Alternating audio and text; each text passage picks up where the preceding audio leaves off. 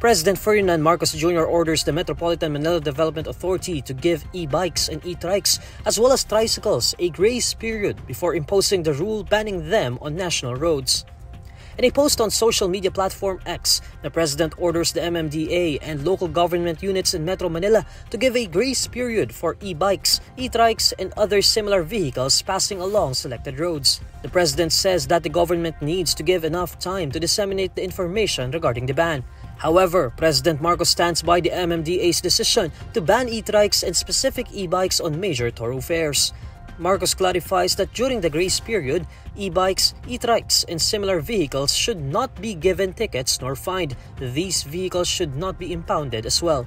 Marcos further says that should e-trike drivers be stopped on the road, they should only be directed towards the correct road and be reminded of the MMDA's new policies. The president has not detailed the timeline of the grace period.